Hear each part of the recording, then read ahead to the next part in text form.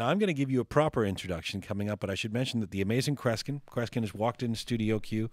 It is so good to see you again. Well, my father will be excited. You know, my father. I told. talked I, about I your remember I told he and I.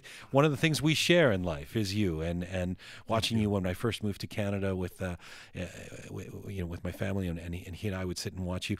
But it's so exciting. Now I know you heard the opening we did. I got to tell you something. I, I, I, I have to say this because I've traveled the world. I've um, last year did 303 appearances around the world, and since you last saw me uh, a year ago, March, the airline industry announced that I have so far in my career flown a little over 3 million miles, more than many pilots here in Canada, United States. But I have to say, I've been, I've been introduced, I've had things done. Uh, the past year, two years, have been incredible experiences since I saw you. But this was very, very moving. You have no idea. I compare it to something that happened. Uh, I wasn't really going to talk about this. Uh, January 12th of this year, the town in which I grew up in, and I've always kept Caldwell quiet because we we always need a place to stop the world and get off. I'm only home four days a month, but they saluted a birthday. We, I don't want to mention the the uh, age because people would think that 75 is too old. But when they This is in Jersey, right? In Jersey, Yeah. But here I didn't know this. It was a big celebration that same night.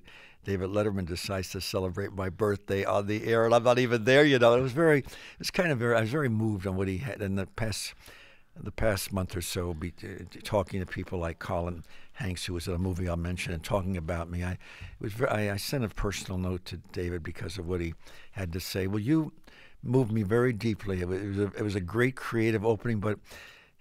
And then when you brought in the Chopin nocturne, because I'm Polish and and, and I love, uh, uh, yeah, I'm very. But you know the thing is, we do ident- we identify that opening week of Q when we first launched this show, and we were doing something totally new. You I know, we are trying to do this I know, multidisciplinary show that's going to run the gamut from punk rock to high art, Yes. so-called high art, The- and the whole spectrum, that's what I And- like and, about it. And and we and, You weren't you know narrowed people were saying that there's no appetite for long form, long interviews. We wanted to do that, all of that stuff, going against the you know conventions, and and so we launched this thing and. And at the time, too, now you see, um, knock on wood. We we uh, do you knock on wood or do mentalists knock on wood? Is that, is that do it- redundant for you? I do it mentally. yeah. So so no, knock on wood by the power of Kreskin. We we um now we, all kinds of fabulous people want to be on the show. I we look- got we I- got I these great guests, right? Steve you- Martin was just on. It's all. said but, but- Steve but in the beginning. We couldn't get, you know, I mean, people are just like, what is this? Q, all right, we never heard of this. I mean, you know, we're launching the show. So you were like, our, you know, this, first of all, this was a big get. We got Kreskin, you know, it's a, and, our, and then you just came in here and, you know, uh, somehow you, you're, the way you shook up the studio loosened me up too, right? And, and so we do think about the beginning of the show as, as you being part of that. So it's that, and that is why that, that was an, that was an honest, that was an But earnest very- but, essay uh, this I know it was. It was a very genuine. And I want to tell you something, and I say this to listeners: if you don't think I was deeply moved by it, it really, uh, you know, I've traveled the world everywhere you can imagine, and this this is Three million miles, I Yeah, understand. and uh, and I'm, I was telling everybody about the first week that you're, and, I, and you you mentioned your dad and what have you. Can I tell you something uh, something that made, made you just said something made me think of something. A new show's on on NBC in the states uh, late night. Jimmy Fallon, Yeah. young guy, came out of Saturday Night Live and what have you. True story. I've never told this publicly. Um, I'm on. Um, the show's only on a month or so, and I'm on a I'm on a talk show in in um, in uh, uh, New England, but I'm not there in person. A book I had written, which I'm going to uh, show you in a moment. I just didn't. It's it's in the other room. I have I have it for you. And they said, Kreskin, would you mind if we have someone? Someone's called us from New York. I said, well, New York. Uh, they want to talk to you on the air, and I said, well, okay. And it was Jimmy Fallon. I said, oh. Uh, Mr. Fallon, I, I don't know you. I see your show. He said, "Would you do me a cr- Would you do me a favor, Kresge? Would you appear on my show?" I said, "Of course I will."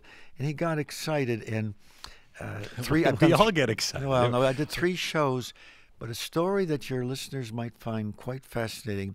Uh, those have been around for a while, and the young people, because of course, uh, you hit an, uh, an age range, and he hits a lot of the young people when we watch television as kids. That's the audience he's getting.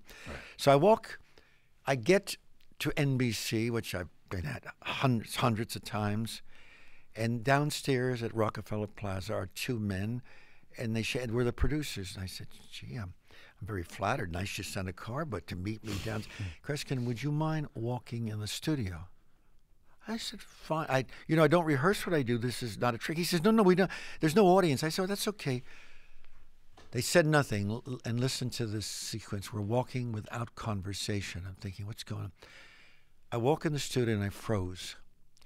And I got very uh, choked up and, and uh, very moved. And uh, I said, I can't talk. They said, Would you say this to Jimmy Fallon when you walk up? It was of the 88 Carson shows where half the shows were done in my career with him. I could tell you every corner of that studio because so many things happened. So we did the show, and he, they, he, I talked about how this is a deja vu experience. And then they heard something. They said, uh, What is this about NBC banning you from doing something with Carson? True story. Never told it publicly. We never rehearsed, and I would tell the, the, the, talent coordinator wherever I was in Canada, the States, or what have you. I'm on next week. This is what I'm going to do. Fine, Kreskin. We'll, we'll, we'll, we'll set up the staging, and everything is fine.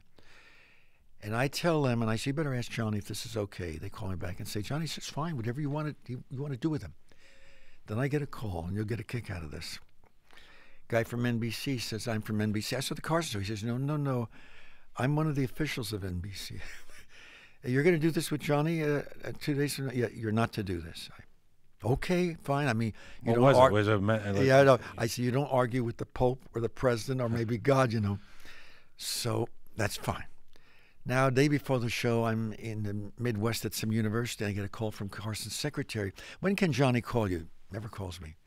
Well, I finished the show, and you're in L.A. now, so it's going to be three hours early. I should be in my hotel room at 12 midnight. Johnny's going to call you. I said, oh, great.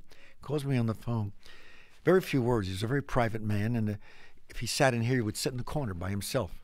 If it was a group of people, he's very shy. Johnny Carson. Very shy. Give him an audience, and he said, he says, the so and so at NBC told you not to do this with me. I said, yeah. He had a few words for him, which we can't mention on any shows these days. Right, People right. heard all four letters of each of the words. He says, you're going to do this, Kreskin. And the background is, I walk in the studio two days later. Johnny walks over to me, and he motions. There's a guy in the front row in this audience. Obviously, he must be NBC because Carson is shafting it to him. Bottom line is, as Carson stood there, and Ed McMahon and Severinsen came over. They got scared because in about 10 seconds, Carson's eyes closed. He got very rigid. We lifted him, stretched him between two chairs, his head on one, his feet in the other. Nothing in the middle. It was no trickery. And a lady I, on the show came over. I said, "Come over here." She says, "I said, sit on him." She says, "No." I said, "Sit on him." Had dinner with her last night. She said, "I thought it was the end of my career." It was Bette Midler. She sat in the middle of him. That picture was across the nation. And don't you know, on on uh, Jimmy Fallon, I duplicated the test, but I didn't s- sit on him. Uh, I ended up standing on him as he was suspended between two chairs, and NBC repeated it three nights in a row. So isn't it something walking into? Did you get banned for a while? No, no, you never actually did. No, I got right, yeah. only that instant. They said, "Don't do it," and Carson says, "We're doing it anyway." So here's the thing. I mean, Jimmy, Jimmy's like me uh, in the sense that he, he probably grew up. You know, he saw yes, you we kid. watching it, and you, you were this wi- wild, wow, wizard to us. You know, how is this man? And and so so he's excited. But you know, there is ano- another generation. But That's right. And he's got that us now, generation. this young generation who don't know you as well. So for them, uh, let me do this introduction. Yeah. proper All right. No, because you I'm going to hire this guy to follow me around the world, guys. I, I- I'm hiring. He's I thought I thought you were three years ago, but you said that Did last you hear time. that line, folks? Right. Amazing is literally my next guest's middle Oh. name. Of course, the Amazing Kreskin. By the way, I was supposed to do Q News. This is what this is. Oh, I'm I was supposed to s- talk I'm about who won the the uh, or who's nominated for the Governor General's Literary Awards and you know all this stuff. But I, I'm not going to do that because you're Well, here I'm and we're going to go I'm straight honored. to. I don't want to. News is important. Well, some of it's funny, funny too. There's some funny. Did you know that? Uh, I'll, I'll, come come back to that. Here's my introduction. Amazing is literally my next guest's middle name. Of course, the amazing Kreskin adopted that name for himself, but decade after decade, as a TV mainstay, a live performer, a sought after consultant, and prolific author, Kreskin has always lived up to his amazing moniker. The world's foremost mentalist and pop culture fixture is back in Canada, where his still legendary TV series, The Amazing World of Kreskin, originated back in the 1970s. He's a mentalist, an entertainer, and a Q favorite. The Amazing Kreskin is in studio Q. Hello, sir. Hello, sir. There's your. He's a mentalist, an entertainer, and a Q favorite. The amazing Kreskin is back in Studio Q. Hello, sir. There's your formal introduction. You know, Now- I, am going to hire now- him, by the way, to, to introduce me around the world. That's all I could. Because you've done three million miles, I understand. Over- and You've never only- said that before in the air. I, am only I'm only home uh, four days a month, and my life has been my life. Who would have ever dreamt that when I saw you, I, I didn't go into it then that a movie was being released, and now now you can see it. By the way, folks listening in the past two month month, it's on five or six times a week. In all the mar- uh, in many of the markets, it's called The Great Buck Howard, produced by Tom Hanks. Who's We're going in to it. get to that. I'm, I'm going to let. I, now I'm going to interview you. All right. Because I- I, know I'm you don't let me. too Yeah, yeah. Let me try and interview you. Try, don't say try. I'm, I got to let him interview me. You're 75. You are 75 years old, years old. yes. Uh, you I still, jog an hour every night. You still jog it. You, uh, last time you, you uh, what five in the morning you do it, or when do you do Four it? in the morning. Four in the Four morning. in the morning. I didn't the last night, but I, I, I jog about 45 minutes. You jog for Yeah. 45 Well, minutes. I'm an, I'm a, you know I'm an energetic person. I, I, I don't go to bed until about five in the morning because I'm I read four books. I read four books a day when I'm home. I like to read. And and for for for a new gen for people who don't know, you don't forget the new generation. I mean, there might be somebody still out there who No, doesn't know the right. amazing Kreskin you. There's got to be. What do you now? How do you now describe what you do? What Well- is who, who is the amazing Kreskin? Well, uh, it's interesting you asked me because um, I've always called myself a mentalist, not the mentalist uh, of the of the of the TV series, you know, uh, who was a fake and then observes what's on people's shoes because he's that that's a great series. He plays uh, really a Sherlock Holmes. And by the way, with my new book coming out, the full story of that series is going to be seen because nobody knows about this and nobody at CBS admitted it for one year before the series appeared. CBS kept interviewing me about the 84 crime cases I was involved in in my career. I have the names of all the people. I think it's quite accidental that suddenly the mentalist came out after all those interviews. Right. But I'm a thought reader. If people would only, uh, uh, last night was quite dramatic because I told uh, a couple their their wedding date and some key factors in their life at the, at uh, the Riviera uh, a few weeks ago. A lady from I believe Brazil. I told her, it's complicated. The, the license number on her automobile in Brazil, but if she didn't know it, I couldn't tell her. If she said, Where am I going to be next month on such a date? If she doesn't know the answer, I can only say the date and it ends there. The person must concentrate. Now, You get into people's minds. minds. Now, last You- night was traumatic. You know, I've talked to you about in all my shows, my check is hidden by the audience. Yes. I'm out of the theater. If it could be an audience of 3,000, uh, 22,000, or a private affair, I, and I'm guarded. When I come back, my check has been hidden by the audience. No one talks to Your me. paycheck. My paycheck. It's hidden in the audience. Anywhere in the, anywhere in the theater. Yeah, okay. Carnegie Hall, it was four balconies. Right. If I don't find it, I don't get paid. And I failed nine times, and it was pretty close last night. I thought it was going to be. How do you go about? I mean, when you say you don't they- find it, you don't actually turn over every seat. I mean, you no, no. you have to find no, it. You have to I know physically find it Right, and right. sense what the people are concentrating. So if that almost test doesn't work, you don't get paid. I almost gave up last night, and uh, it didn't take me three, four, five minutes to find it. I literally was giving up. I said, "This is my last attempt." Uh, took me 20 minutes to find the check. That that's happened maybe seven times in my entire And how do you feel when that happens? Is that like was- kryptonite? Are you? I was you, exhausted. Do you feel like your powers I have been? I was wiped out. I'm telling you. And I had a second half of the show. The audience was tremendous, and you know what it was. I now I want to share with you folks. People ask me. You've never said this before. Regis uh, off camera Yeah. always asked me. 109 shows with him. He's well. I kept going in the audience, and five or six times I picked up a novel a man was written, Thumb through it. There was some canceled checks. Check was the book wasn't there. And finally, one more time, I said, "Sir, you're my last person on the committee. If I can't go and get it, this is it. I end it." Walked in the audience, got the book again, and the way he thought, this sounds crazy. Opened the pages wide. You're almost breaking the breaking the binding. They had folded the check so tiny it was near the inside of the binding and riffling through. I never found it. I was wiped out after I found it. Wow. And do you ever?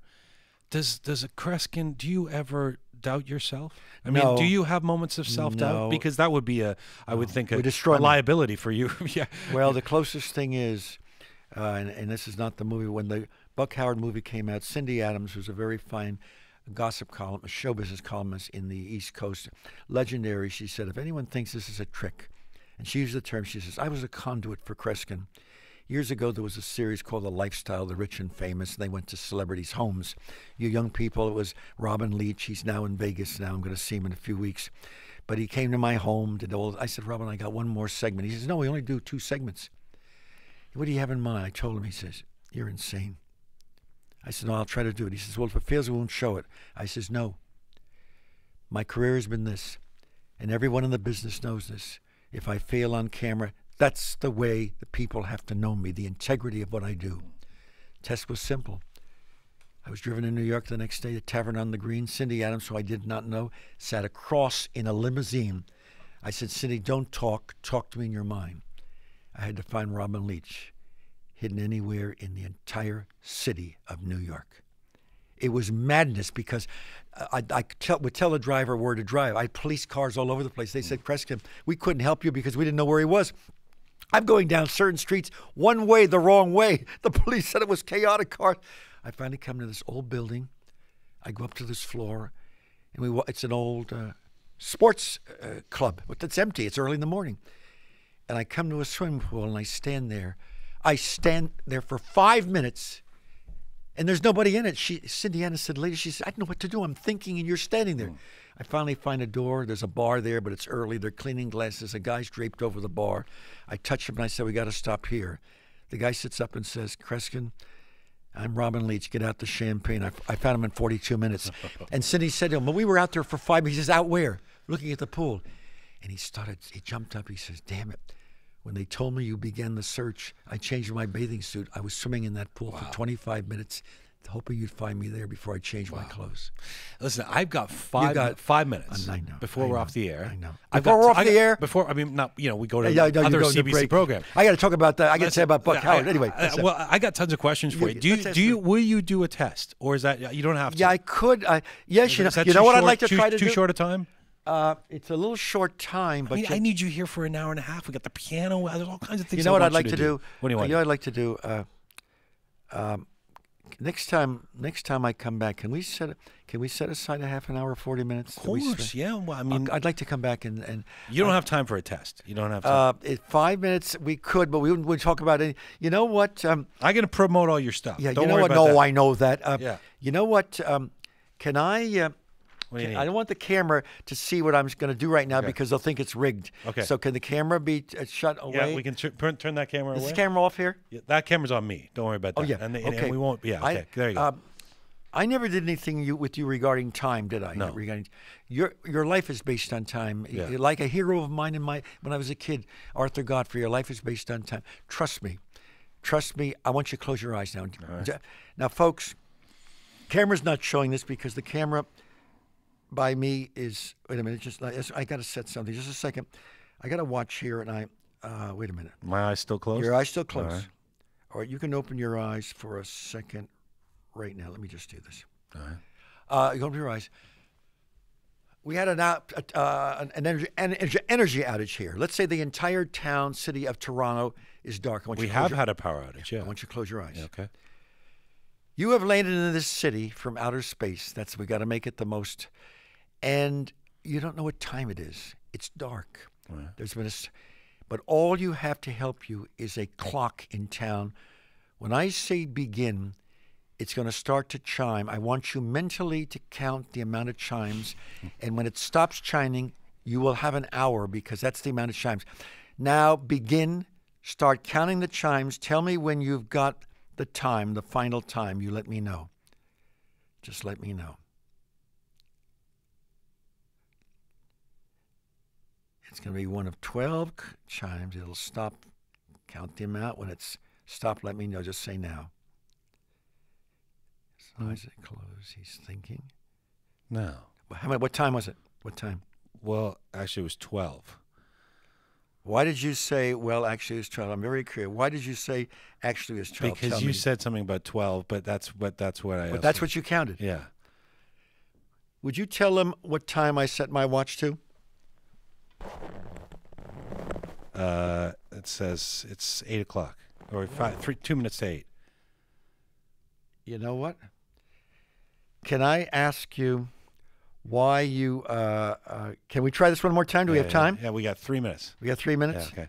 All right. All right. to close my You know what? I. You know what? It was my mistake. I said twelve, which suggested a time. Yeah. All right. Listen, he's going to get it. Was it going to be eight? Because I almost stopped Yes, at was eight, and then I went Yes, to it was 12. eight. Yes, it was eight. That's what it was. Try. Can we do one Yeah, more time? okay, right. But that's what it was. Eight o'clock. All right. now so listen, funny. folks. Try this at home, folks. Try this. right. Um, this, this, is this is radio silence, and I, I'm sorry I said the 12 because I had set it to 8 o'clock. Ready, begin now.